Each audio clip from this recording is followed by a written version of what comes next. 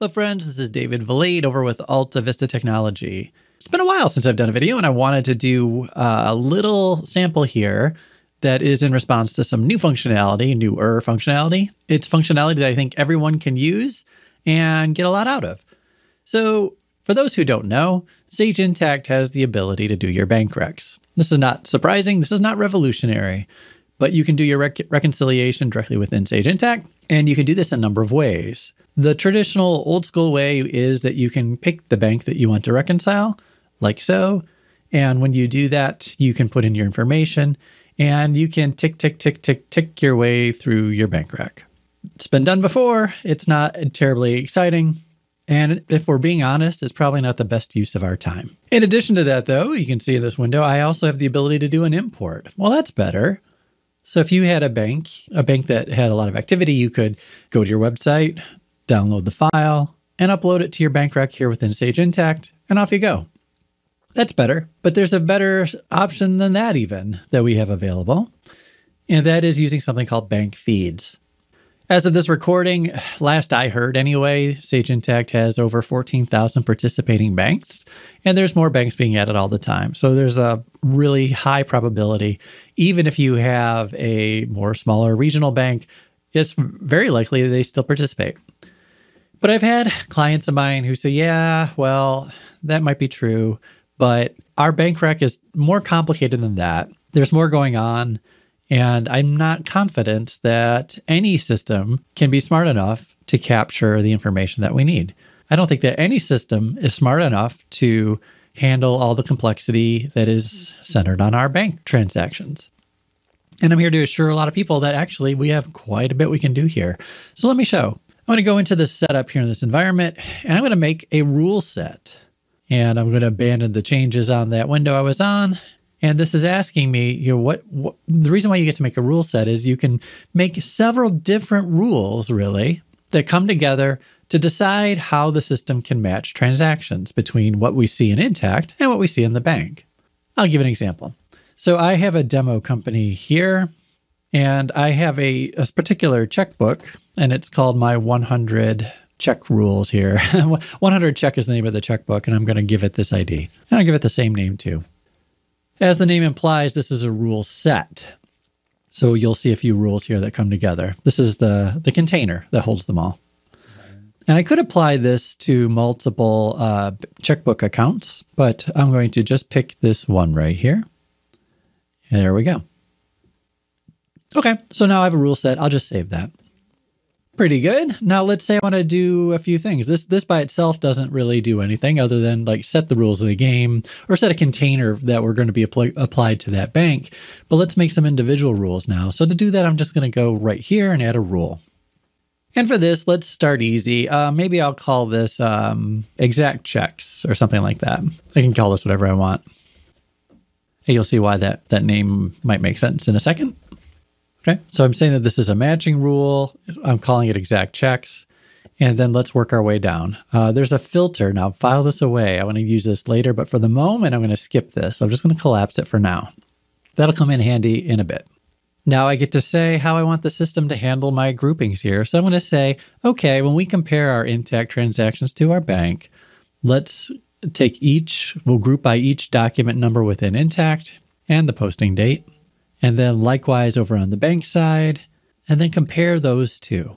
And then we get to say how we want things to be handled down here in this uh, bottom section. So the easy thing is, well, I need the amounts over on the bank side to equal the amount within Intacct. If it doesn't, I don't want you to match it. Likewise, I might say I want the document number to match and I'm calling this exact check. So let's say document number. You do have this. There's there's actually two options here. There's document number precise, and if you've ever, depending on your bank, they may pad some leading zeros to the check number. And if that is you, that might be a problem when you're trying to reconcile. Well, Intacct thought of that. So you could pick either case, whatever's appropriate. I'm going to say that the bank number, the check number over on the bank, should equal the document number or check number over here in Intacct. Okay, so now I'm matching all the amounts and checks over on the bank with the amounts and checks over in Intacct. That sounds good. I think I could do more with dates, I suppose. I could do different things like that, but I really don't need to worry in my example. I think that's that's plenty good. If I have a check number and an amount over in the bank, and I have the roughly that well, if I have the exact amount over in um, Intacct along with the document number, then yeah, go ahead and clear it out. So I will save that. Now I could be done. That could be it. That could be the end of the story. But I wanted to give another uh, little complication. I have this Excel file here. Let's suppose that you use ADP for payroll.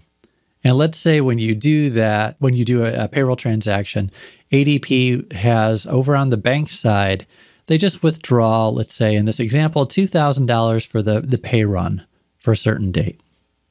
Okay, it's just a lump sum amount.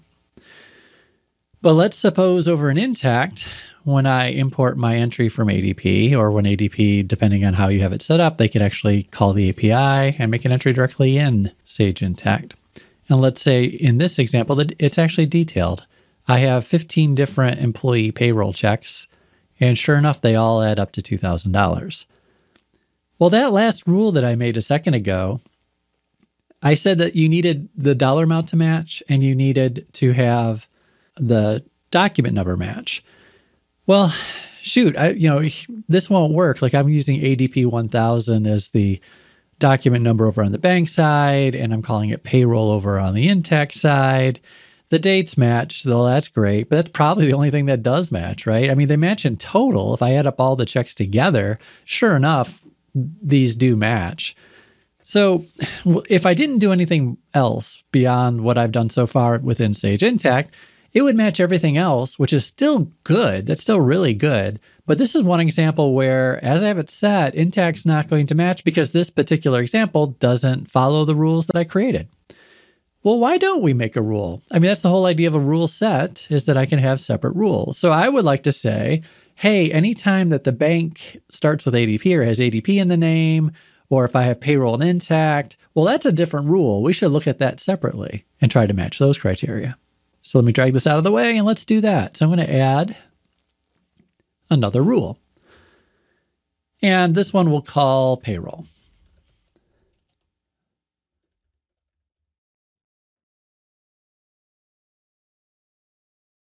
Like so.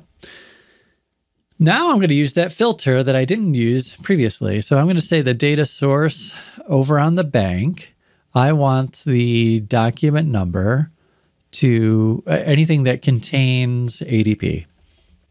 And you actually, I did that kind of quick. If I look at the uh, criteria here, there's equals, actually begins with might be better. I'll do that. So I'll say anytime the bank transaction document number begins with ADP. And just pulling back my example over on screen to take a look at it, that means that this one would be in the game. But all my regular checks, those don't start with that prefix, so those would be ignored by this particular rule. Okay. And while I'm here, I'll note that my Intacct, I'm going to assume that I'm always going to start with payroll.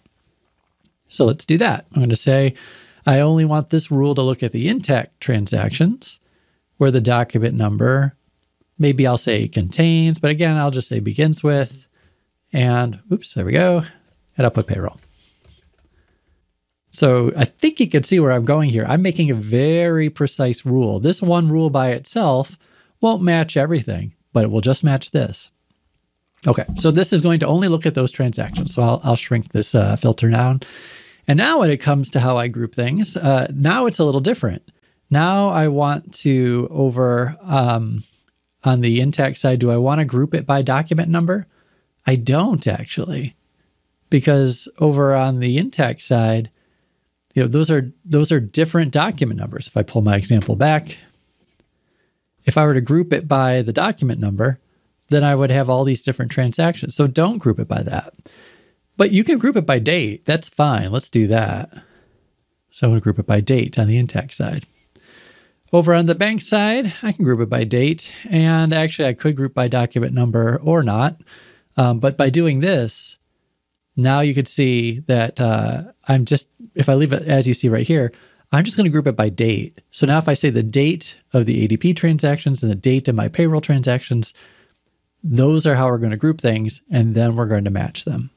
So now I would say I want to group the amount over on the bank, that needs to equal the amount over in Intacct. And likewise, I also want to do the date. So we'll say the posting date over in um, on the bank side. I want that to be considered here. And I could say equals, that's what I was going to do. You could also, just to be clever here, I'll say it has to be within one day. All right. So by doing this, let's back up. This one rule is only going to, I called it payroll checks. It's only going to look at uh, situations where these things are true, where the bank has the ADP as the prefix there, where my Intacct has the payroll in the name. And then just looking at the document date, you know, the posting date, and comparing the amounts and the dates. So now, if I look back at my example here, it would group all these transactions together by date. So I would have the $2,000 and it would group the ADP by date, same date there, or actually it can be within one day, the way I have it set. And that's $2,000. So we have a match. So then with this rule with fire, it would go ahead and check off all the boxes for all these transactions. Now, in that example, I have like 15 transactions, and that's great, but I could have hundreds. So this is these are two rules that are awfully clever that are going to work together to help my bank rec just fly by and be all automatic, no touch. I mean, I could pull it up, but I could see it, and uh, I actually still have the control. So everything that gets checked as matched is still held there, so I can review it. So it doesn't. It's not like I would lose control of the thing, but it would match anything that I have there. And if it didn't match the criteria, like let's pretend that those payroll checks were posted two days out of out of um, out of alignment, then you could still come in by hand and check those and resolve it there. But now, like we're, we're putting our time into those exceptions. We're putting our time into finding those little things that that can come up in real life, and not putting our time and energy into just mindlessly clicking boxes. So I hope that helps. It's a, a little quick example of one way that Sage Intacct can make bank recs easier and faster and more efficient. And it's there for anyone to take advantage of. It's there right within Sage Intacct. And it's a great feature that more people could benefit from. Thanks. I'll talk to you all soon.